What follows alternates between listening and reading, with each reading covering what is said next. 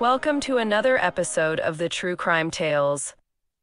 Today we are going to explore the story of Detective Mercer in a tale called Shattered Reflections.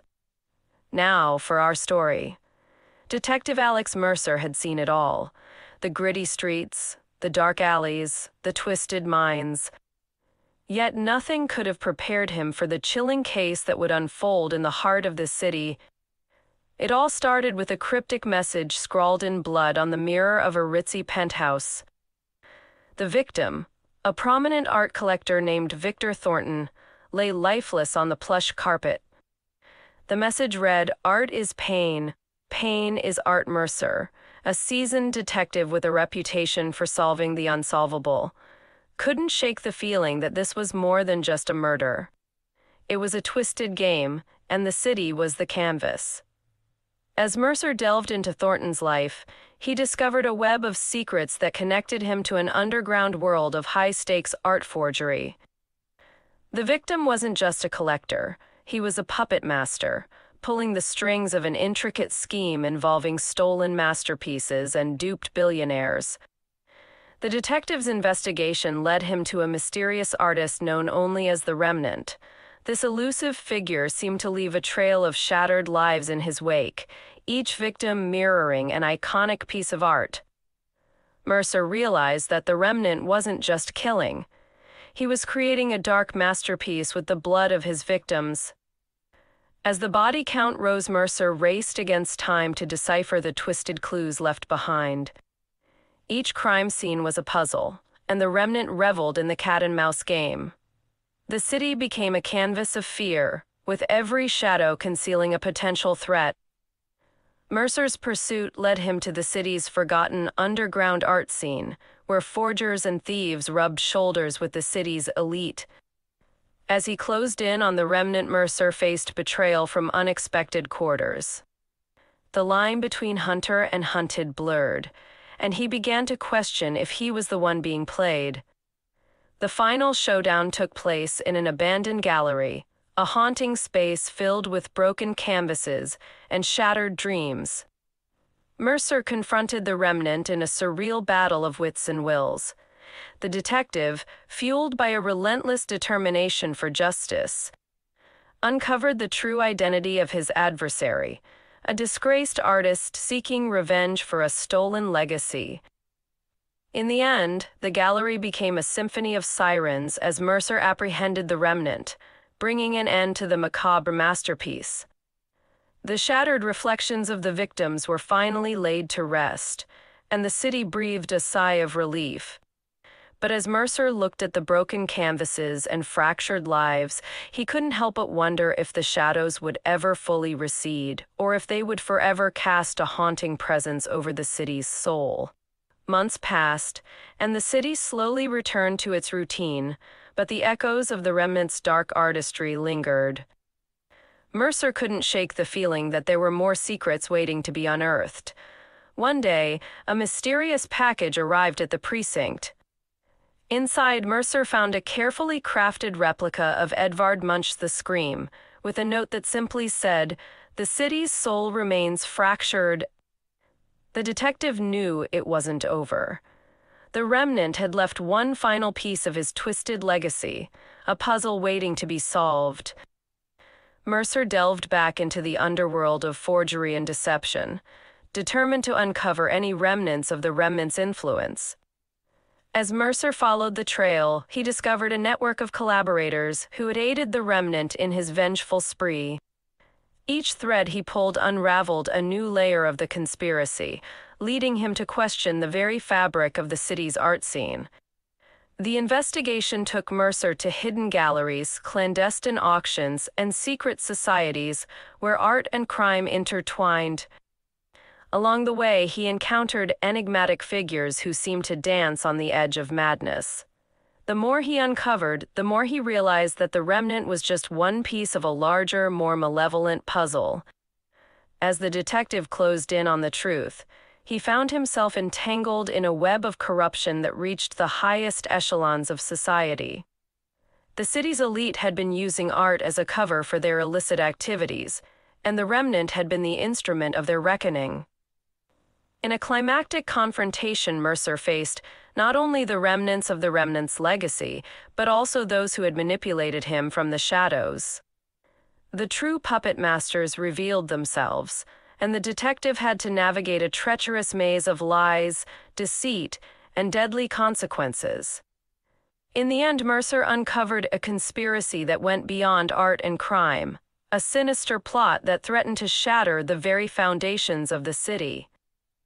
As the truth emerged, he faced a choice expose the corruption and risk everything, or let the shadows continue to manipulate the city's destiny. In a final act of defiance, Mercer chose justice over silence. The revelation sent shock waves through the city, exposing the hidden underbelly of power and greed. The shattered reflections began to heal as the corrupt were brought to justice. Yet, as Mercer stood in the aftermath, he couldn't shake the feeling that the city's soul was forever scarred. The remnant's legacy had left an indelible mark, a reminder that even in the pursuit of justice, the shadows could never be fully banished. The fallout from Mercer's revelations sent shockwaves not only through the city's corridors of power, but also through the detective's own life. The higher ups in the police department, some with ties to the exposed corruption, viewed Mercer as a threat. He found himself isolated, his once loyal colleagues now eyeing him with suspicion. Undeterred, Mercer continued to dig deeper, knowing that the roots of corruption ran deep. He forged unlikely alliances with those who had also been betrayed by the system, creating a clandestine network of truth seekers within the city. As Mercer navigated this dangerous new landscape, he discovered that the remnant had left behind a series of encrypted messages. These messages hinted at a grander scheme, a plan that transcended the boundaries of the art world and bled into the very heart of the city's power structure. The detective's pursuit of the truth led him to a forgotten asylum on the outskirts of the city. Within its decaying walls, he uncovered the remnants of a secret society that had manipulated events for centuries. The society saw itself as the architects of chaos, using art as a tool to control minds and shape destinies. Mercer's investigation unveiled a chilling connection between the society and a string of unsolved crimes throughout history. From stolen masterpieces to political assassinations, the Remnant and his predecessors had been mere pawns in a grand game played by the puppet masters. As Mercer drew closer to exposing the society's existence, he became a target. The once shattered reflections of his past haunted him as he faced threats from within and outside the police force. The detective's journey became a battle not only for justice but for his own survival. In a pulse pounding climax, Mercer confronted the leaders of the secret society in a hidden chamber beneath the city. The air was thick with tension as he unraveled the threads of their intricate plot. The puppet masters, cornered and desperate, revealed the true extent of their influence. With the city teetering on the brink of chaos, Mercer made a choice that would alter its destiny. He exposed the society's machinations to the public, triggering a wave of outrage that swept through the streets.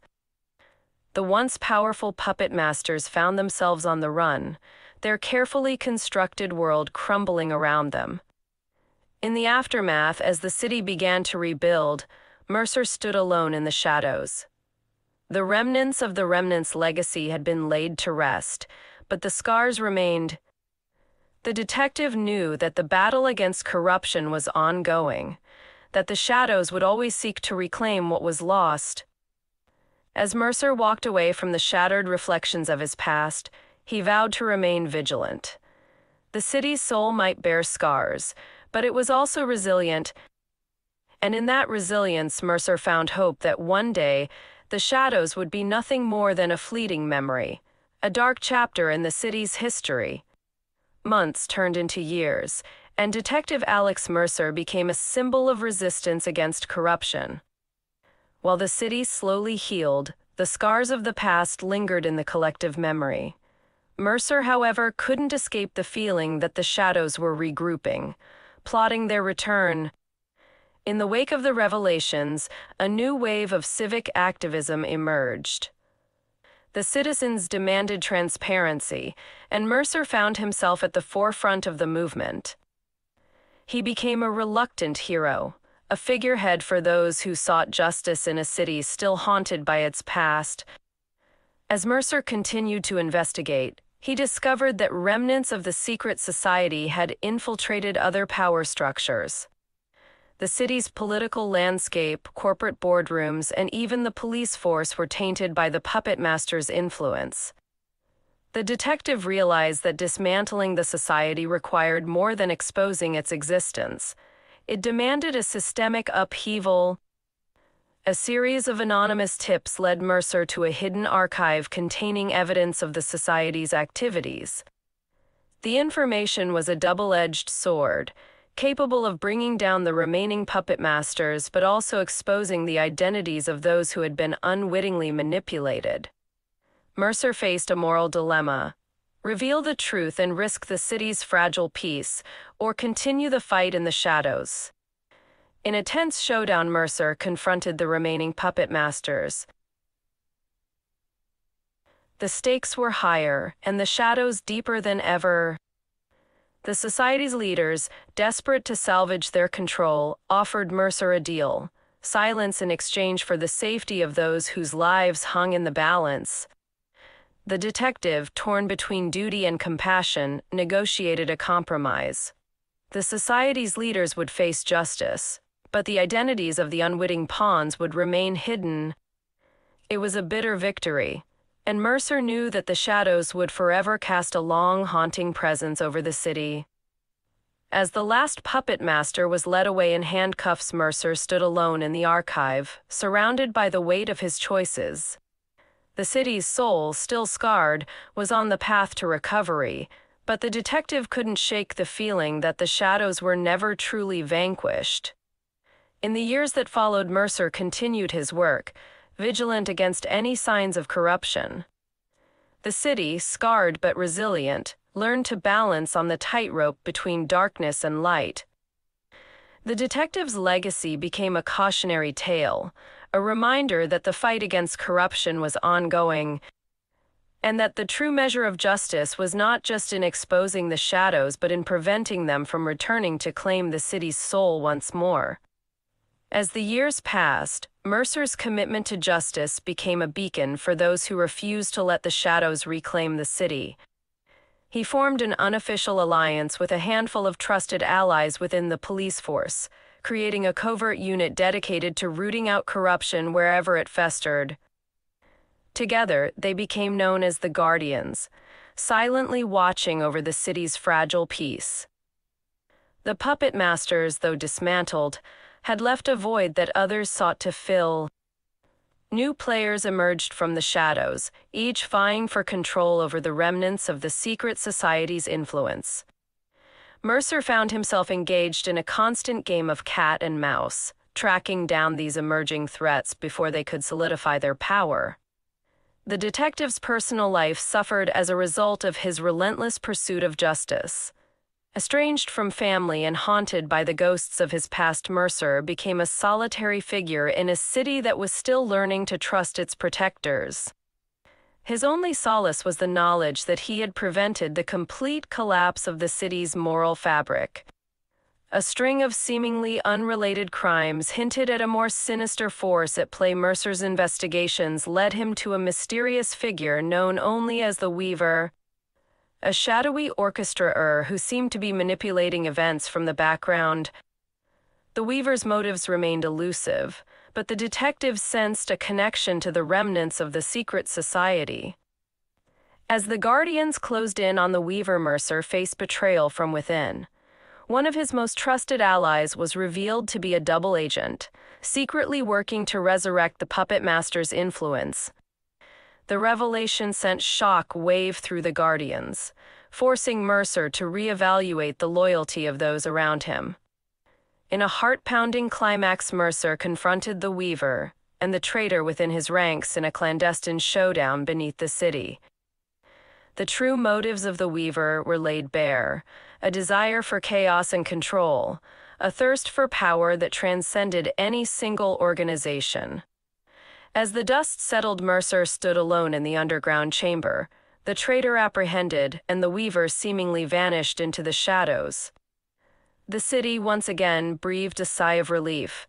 Yet Mercer couldn't shake the feeling that the Weaver's influence still lingered, a lingering threat that whispered of more challenges to come. In the aftermath, the Guardians regrouped, more vigilant than ever. Mercer, scarred but unbroken, continued to watch over the city, knowing that the fight against corruption and darkness was an eternal one.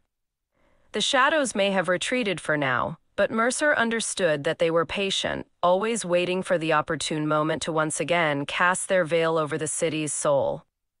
In the conclusion of this ongoing saga, Detective Alex Mercer found himself standing at the crossroads of his relentless pursuit of justice. The city, scarred by corruption and haunted by shadows, had become a place where the line between light and darkness blurred. Mercer, despite his victories, couldn't escape the feeling that the true battle was yet to come. The remnants of the secret society, the Weaver's elusive presence, and the constant threat of new players emerging from the shadows kept Mercer on constant alert. The city, though on the path to recovery, remained a fragile tapestry, its threads interwoven with the complexities of power, betrayal, and hidden agendas. As Mercer delved deeper into the mysteries that plagued the city, he discovered a revelation that sent shockwaves through the foundations of his understanding. The puppet masters, thought to be eradicated, had left behind a legacy more insidious than anyone could have imagined. A clandestine network of influence, operating in the shadows for generations, was revealed. In a high stakes showdown, Mercer faced the true architects of the city's fate. The puppet masters, resilient and adaptable, had evolved into a force capable of manipulating events on a global scale. Their motives, steeped in a dark desire for control, challenged Mercer to confront the very essence of the city's soul. In a climactic battle that unfolded across the city's labyrinthine streets and hidden corridors, Mercer waged a war not just against individuals, but against an ideology that thrived in the shadows. The true test of his mettle lay not in solving crimes, but in dismantling a system that had perpetuated corruption for centuries. As the final pieces fell into place, Mercer stood on the precipice of a new era for the city. The puppet masters, exposed and defeated, left behind a void that demanded something new to fill it. Mercer, weary but resolute, became the architect of change, steering the city towards a future where justice, transparency, and the indomitable spirit of its people would prevail. The epilogue saw a city in the process of rebuilding, not just its physical structures, but its very identity. Mercer, though forever marked by the battles he fought, found solace in the idea that the shadows, while persistent, could be pushed back by the collective strength of those who refused to be consumed by darkness.